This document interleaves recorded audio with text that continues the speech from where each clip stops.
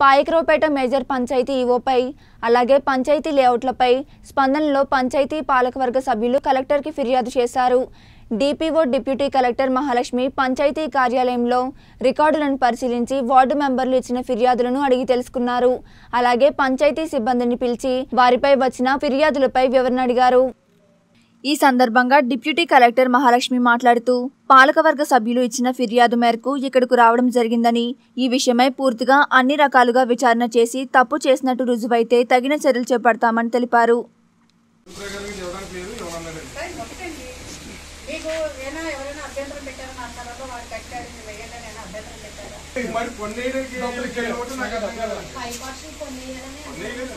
మీరు ఏమైనా బాగా కరెక్టే. కొన్ని చలానా ఇస్తారు రిసీట్ ఇస్తామా? కరెక్టే డబ్బులు ఇస్తారు వంద రూపాయలు. నువ్వు రిసీట్ కట్టవయ్యా పడినేస్తానంటే గవర్నమెంట్ నాకు నా ఇల్లు పెట్టుకున్నాను నేను అప్లికేషన్ పెట్టాను ఏమంటాను ఇల్లు పెట్టుకున్నాను నేనైనా చలానా పెట్టాను. నేను ఒకటి ఇప్పుడు ప్రతి కరెక్టే. నన్ను డబ్బు డిమాండ్ చేస్తున్నాను నువ్వు అది గవర్నమెంట్ చలానా కడతావా? అంటే నుంచి మన ప్రతిదీ చలానా కట్టాలమ్మా నువ్వు కాశీ వచ్చి చెప్పినప్పుడు వంద రూపాయలు వేసిన ప్రతి ఎంత చేస్తారు ఎప్పుడు చేస్తారు మంగళవారం శుక్రవారం మంగళవారం ఎంత మొత్తం అందరూనే. ఈ శివరుడు వస్తే ప్రతి ఒక్కరికి ఎన్నో ఇచ్చి కట్టారు నేను అన్నాను ఇప్పుడు కొత్త కూడా కడుతున్నాడు రేపు పొద్దున్న డ్రైన్ దాంట్లో కదా ఆపదంటే ఇవాళ కూడా ఆపలేదు అన్నాను అది step by step step by step కట్టుకుంటూ పోయి ఉన్నారు అందుకే కాంప్లిమెంట్ అవుతుందండి లేదంటే ఎందుకు అవుతుందండి అధికారి వ్యవస్థ అధికారి పరంగా వెళ్ళినప్పుడు ఎక్కడ అవుతుందండి ఇన్వాల్వ్మెంట్ అయిపోయి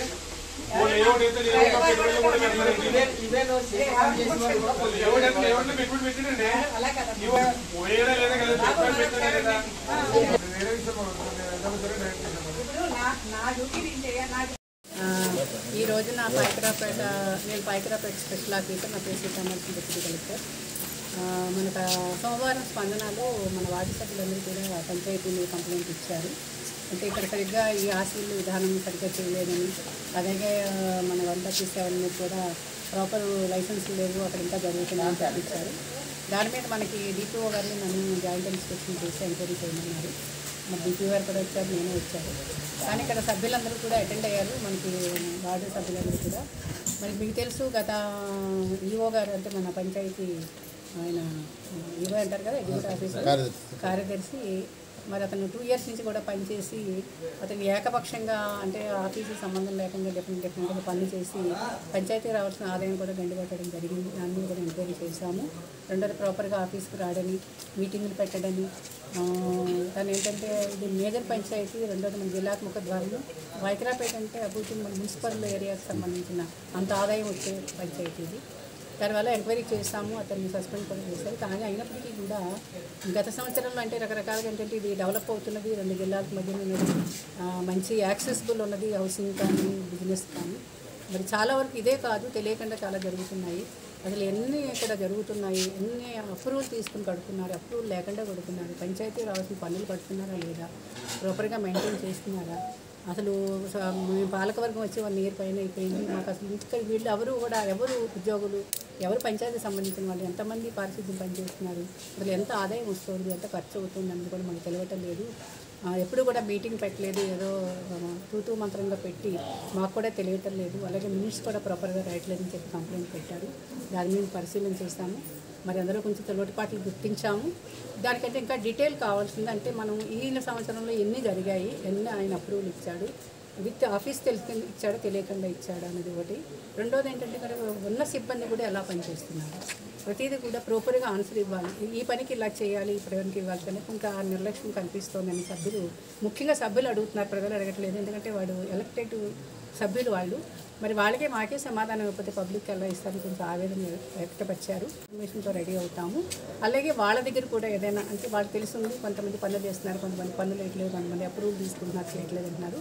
మేము వాళ్ళు కూడా వార్డు వైజ్ కూడా మేము వాళ్ళ దృష్టిలో ఎన్నో వచ్చాయి చేయమంటాం. మా నోటీస్లో మేము అఫీషియల్గా ఎన్ని ఇచ్చాము చూసి ఎవరి టైంలో జరిగింది అది అది ఈవో గారు చేశారా లేకపోతే గుమస్తాలు చేస్తున్నారా అంతకుముందు ఎవరైనా చేశారండి?